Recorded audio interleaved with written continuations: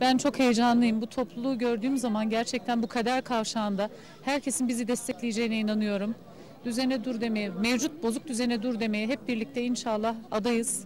Ee, Milliyetçi Hareket Partisi iktidara hazır. Desteklerini bekliyoruz. Sandıkta da bunun karşılığını göreceğiz.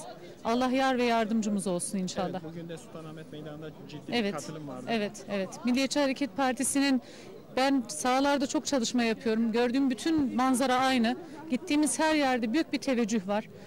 Ee, memleketimizde vatandaşımız teveccühünü gösterirse ben inanıyorum ki Milliyetçi Hareket Partisi ülkenin teminatı, vatanın, toprağın, bayrağın teminatı olarak mecliste çokluk olarak bulunacak. Evet.